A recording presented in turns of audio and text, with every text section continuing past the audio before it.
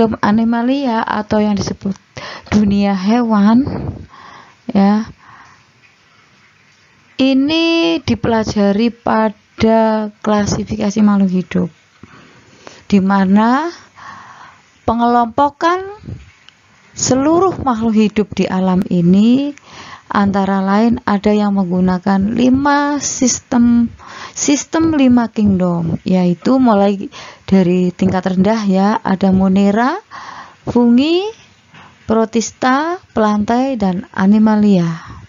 Di video ini anak-anakku ayo kita belajar tentang kingdom animalia atau kingdom hewan. Nah, kingdom animalia ada dua film yaitu invertebrata dan vertebrata. Yang vertebrata, vertebrata itu adalah hewan yang mempunyai tulang belakang. Sedangkan invertebrata hewan yang tidak mempunyai tulang belakang. Invertebrata ada yang menyebut juga avertebrata, A itu tidak. Jadi tidak mempunyai tulang belakang. Vertebrata mempunyai tulang belakang, itu ada kelas chordata, di mana chordata itu uh, ada hemichordata, urochordata, cephalochordata, dan vertebrata. Dan vertebrata ini ada ada ya hewan yang bertulang belakang ya ini ada lima kelas mulai dari tingkat terendah Pisces atau ikan amfibi atau katak reptil atau merayap apes atau burung mamalia atau menyusui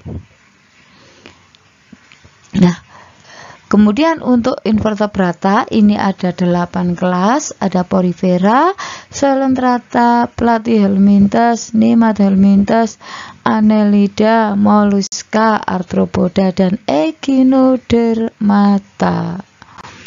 Baik, di video ini anak-anakku ayo kita membahas tentang dunia hewan. Di mana hewan itu yang bagian vertebrata. Vertebrata mempunyai ciri-ciri bertulang belakang, jadi mempunyai tulang, kemudian ada kepala, badan, dan dua pasang alat gerak, serta beberapa spesies ini mempunyai ekor. Sistem pencernaannya itu memanjang dari mulut hingga anus, dilengkapi dengan kelenjar pencernaan. Sistem peredaran darah tertutup, artinya apa? Darah beredar itu selalu melalui pembuluh darah. Berdarah panas, artinya apa? Suhu tubuh tetap. Nah, untuk Pisces dan amfibi berdarah dingin, artinya apa? Suhu tubuh menyesuaikan lingkungan. Vertebrata reproduksi ada yang secara internal, ada yang secara eksternal. Yang internal itu mamalia, aves, reptil. Yang eksternal artinya pembuahannya di luar tubuh induk itu kelompok ikan dan katak. Nah ini ya vertebrata ada lima kelas. Boleh kita mulai dari tingkat tinggi, boleh kita belajar mulai dari tingkat rendah. Tingkat rendah Pisces, agak meninggi lagi amfibi, meninggi lagi reptil, aves, dan paling tinggi adalah kelompok mamalia. Baik, kita mulai yang mamalia dulu atau kelompok menyusui. Ini mempunyai kelenjar susu. Untuk untuk jantan juga mempunyai kelenjar susu, cuma tidak berfungsi mempunyai tulang belakang itu sudah pasti ya atau vertebra ya mempunyai anggota tubuh untuk bergerak seperti berenang, berlari dan memegang sesuatu. Mempunyai rambut untuk menutupi seluruh tubuhnya.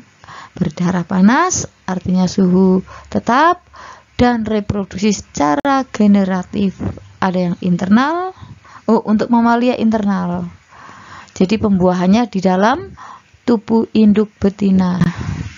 Nah ini ini adalah mamalia bisa kalian perhatikan ada punya kelenjar susu. Ada lagi contoh kucing ya.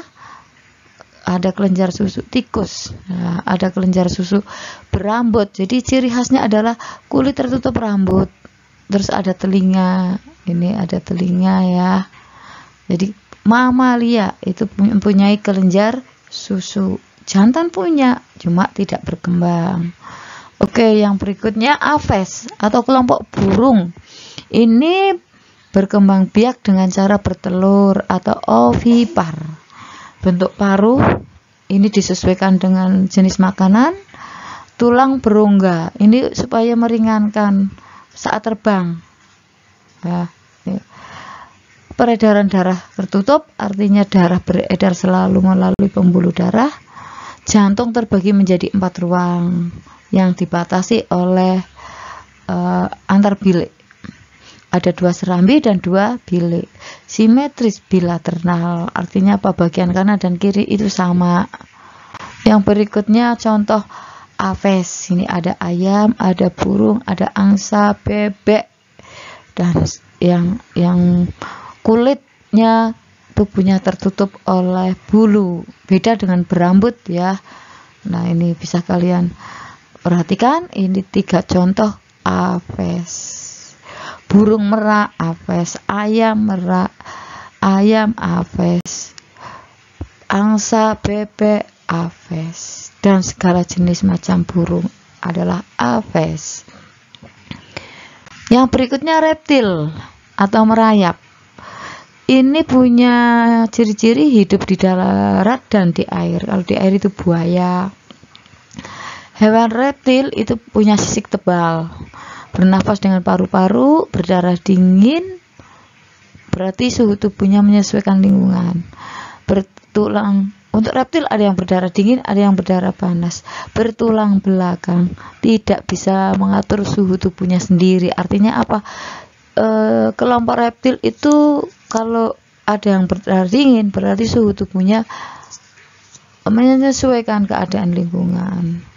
Rata-rata reptil berkembang biak dengan cara bertelur, walaupun ada yang bertelur beranak atau ovovivipar. Artinya apa?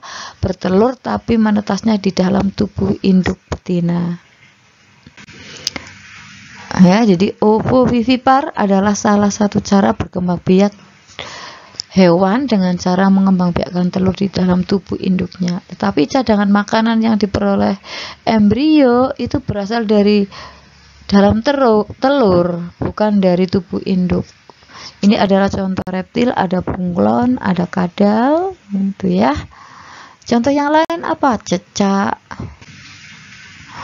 uh, apa namanya, buaya, itu ya. Apalagi nih, yang mau menetas ini adalah kura-kura sekarang amfibi. Atau apa katak ya. Ini berdarah dingin mengalami metamorfosis. Artinya apa?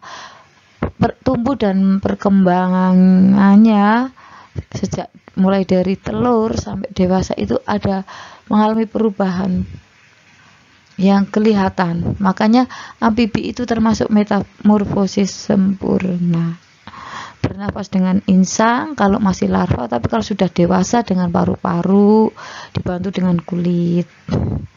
Sistem peredaran darah tertutup. Kakinya berselaput karena apa? Katak itu kadang bisa berenang. Contoh kaisilia nah ini. Kaisilia amfibi yang mirip cacing. Nah sekarang Pisces Pisces ini merupakan kelompok vertebrata yang hidup di perairan dengan menggunakan sirip untuk bergerak dan menjaga keseimbangan tubuh dan memiliki jumlah spesies yang beraneka ragam.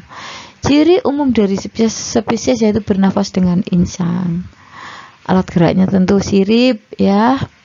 Rangka tersusun atas tulang sejati. Sebagian tubuh ditutupi Allah ditutupi oleh sisik dan berlendir. Tapi sisiknya itu nggak setebal reptil ya. Ini contoh ikan. Oke. Okay.